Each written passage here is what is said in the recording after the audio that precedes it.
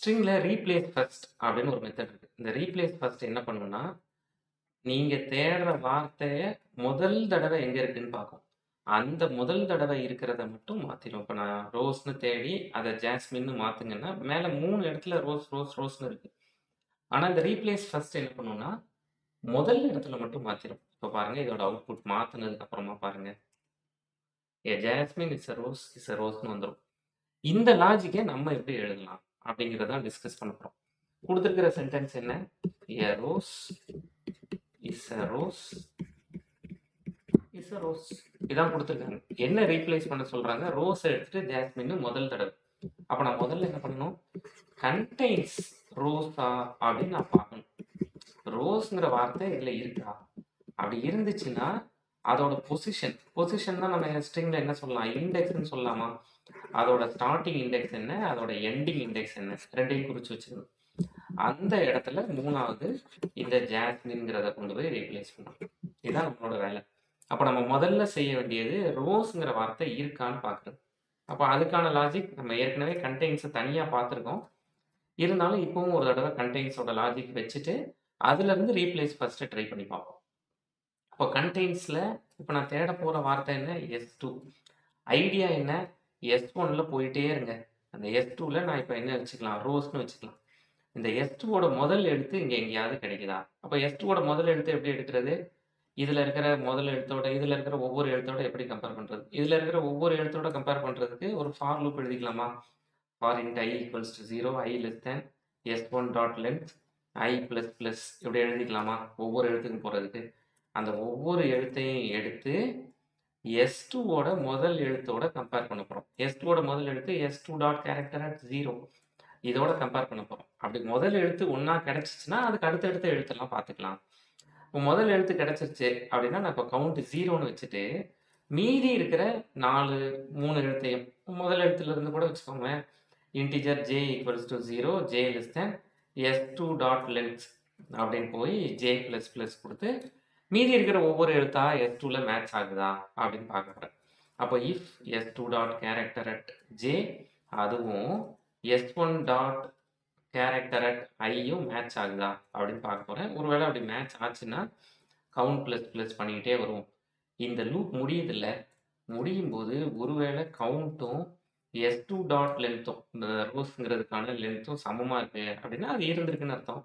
அப்படி இருந்துச்சுன்னா, system dot out dot println S கண்டெய்ன்ஸ்னு சொல்லிடலாம் நம்ம ஏற்கனவே இதை பண்ணியிருக்கோம். அப்படி அதுவும் இப்போ தேவைங்கிறதுனால திரும்ப இதை டிஸ்கஸ் பண்ணுறோம் அப்படி இல்லைன்னா நோ டஸ் நாட் கண்டெயின் அப்படின்னு சொல்லி இதை முடிச்சிடலாம். இப்போ no does not contain no does not contain no does not கன்டெயின்னு 3 தடவ வந்துருச்சு. ஏன்னா, இங்கே கவுண்ட் நமக்கு மேட்ச் ஆகலை அப்படின்னு அது சொல்லுது. ஏன் கவுண்ட் மேட்ச் ஆகலைன்னா ஒரு சின்ன மிஸ்டேக் பண்ணிட்டேன் பாருங்க. ஒவ்வொரு தடவையும் ஐ பிளஸ் ப்ளஸ் பண்ணணும்ல. அப்பதானே அடுத்தடுத்து எழுத்து போய் செக் பண்ணும். இப்போ நான் இதை திரும்ப ரன் பண்ணுறேன்னா S contains S contains, S contains 3 தடவ வந்துருச்சு. சரி மூணு தடவை எஸ் கண்டெயின்ஸ் வந்துருச்சு. ஆனால் ஒரு தடவை வந்தால் போதுமே. இருக்கான்னு தானே கேட்டாங்க. எத்தனை தடவை இருக்குன்னு கேட்டாங்கன்னா, அப்படி வச்சுக்கலாம். அப்போ ஒரு தடவை வந்தால் போதும்னா, நான் இங்க ஒரு பிரேக் சேர்த்துக்கலாம். எஸ் கண்டெய்ன்ஸுங்கிறது வந்துருச்சு. சரி இப்போ கிடச்சிருச்சு கிடைச்ச உடனே இந்த லூப் பிரேக் ஆகுது. இப்போ கிடைச்சிருச்சா? கண்டெய்ன்ஸ் தானே நான் செய்ய வேண்டிய முதல் வேலை. கிடைச்ச உடனே நான் என்ன செய்யணும்? அப்படி கிடைச்ச உடனே லூப்பை பிரேக் பண்ணுறதுக்கு முன்னாடி, அந்த பொசிஷனை எடுத்து வச்சுக்கோங்க. அப்போ நான் கிடைச்சிருச்சு அப்படின்ன உடனே பொசிஷனை எடுத்து வைக்கிறேன். எப்போ? அப்போ பொசிஷனை எடுத்து வைக்கணும்ல. அதுக்கு எனக்கு ஒரு ஸ்டார்ட்டிங் 0ன்னு வச்சுக்கிறேன். எண்டிங்கும் ஜீரோன்னு வச்சுக்கிறேன். இப்படி ஒரு வேரியபிள் ரெண்டு வேரியபிள் வச்சுப்போம் எப்போ முத முதல்ல கிடைக்குதோ, அந்த பொசிஷனை என்னோட ஸ்டார்டிங்காக வச்சுக்கிறேன். Starting int start equals to ஐன்னு அதை வச்சுக்கலாம். எப்போ இந்த இடத்துல எனக்கு கிடச்சிக்கிட்டே இருக்கோ, அப்போ நான் அந்த எண்டை இங்கே எது வரைக்கும் கிடைச்சதோ, அதை எண்டுன்னு வச்சுக்கிறேன். அப்போ ஸ்டார்டிங்கும் எண்டிங்கும் எனக்கு கிடைச்சிருமா? இந்த ஸ்டா கிடச்சிச்சின்னா அந்த ஸ்டார்டிங்கையும் எண்டிங்கையும் பிரிண்ட் பண்ணி பார்ப்பேன். எந்த இடத்துல நமக்கு கிடச்சிருக்கு ஏன்னா, அந்த இடத்துல தான் போய் நம்ம ரீப்ளேஸ் ஃபஸ்ட்டு அப்ளை பண்ணணும். அப்போ எந்த இடத்துல கிடச்சிருக்கு ரெண்டாவது இண்டெக்ஸ்லேருந்து ஆறாவது வரைக்கும். அ 2வது இப்ப அப்படிங்கிறத பாருங்களேன். இந்த இடத்துல ஏ ஆர் e, சரி.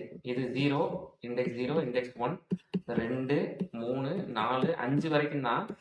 ஆனால் அந்த ஐ ப்ளஸ் ப்ளஸ் கொடுத்துட்டு அதில் ஐ ப்ளஸ் ப்ளஸ் கொடுத்துட்டு எண்டு கொடுத்துருக்கிறதுனால எண்டு கொடுத்துருக்கிறதுனால ஒன்று கூட காமிக்குது. 2லிருந்து 6 வரைக்கும். சரி. ஒருவேளை நான் இந்த பிரேக்கை கொடுக்கலன்னு வச்சுக்கோங்க.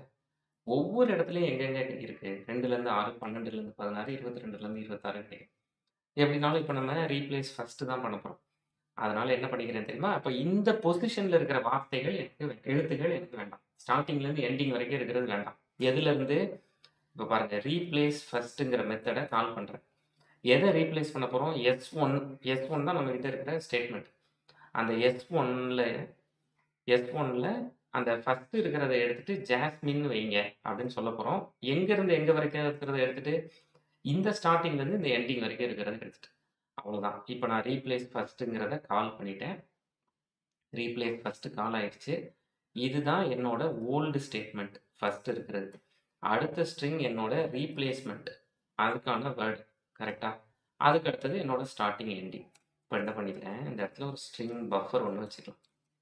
சும்மா அப்டேட் பண்ணிக்கிட்டே இருக்கணும். அதுக்காக ஸ்ட்ரிங்குக்கு பதிலாக ஸ்ட்ரிங்கே யூஸ் பண்ணணும்னாலும் யூஸ் பண்ணலாம். நான் இந்த இடத்துல ஒரு ஸ்ட்ரிங் பஃபர் ஒன்று வச்சுக்கிறேன். இப்போ for int i equals to 0 i less than starting வரைக்கும் எடுத்து முதல்ல காப்பி பண்ணி வச்சிருக்கோம் இந்த இடத்துல எஸ்பி டாட் அப்பெண்டுங்கிறது நமக்கு தெரியுமா?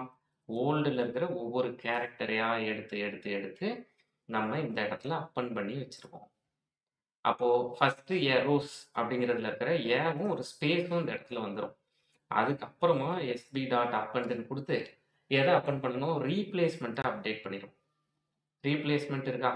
அதையும் ஒரு ஸ்பேஸையும் அப்பன் பண்ணிடும் அப்போ ஜாஸ்மின்ங்கிறது அப்டேட் ஆகிடும் இந்த இடத்துல ஏ ஸ்பேஸ் ஜாஸ்மின் அப்படின்னு அப்டேட் ஆகிடும் அதுக்கப்புறமா மீதி இருக்கிறதெல்லாம் சேர்த்துக்கலாமா? இன்டீஜர் ஐ ஈக்குவல்ஸ் டூ என்னோட எண்டுலருந்து எடுத்துக்கோங்க. ஐ லெஸ் தேன் ஓல்டோட லாஸ்ட் லெட்டர் வரைக்கும். அதாவது ஓல்டு டாட் லென்த் வரைக்கும் எடுத்துக்கோங்க.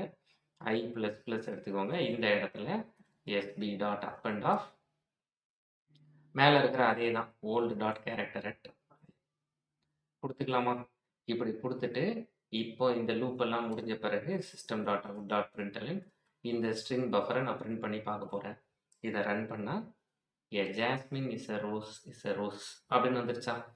அப்போ ரீப்ளேஸ் ஃபர்ஸ்ட் எப்படி பண்ணுறதுன்னு நம்ம பார்த்துட்டோம்.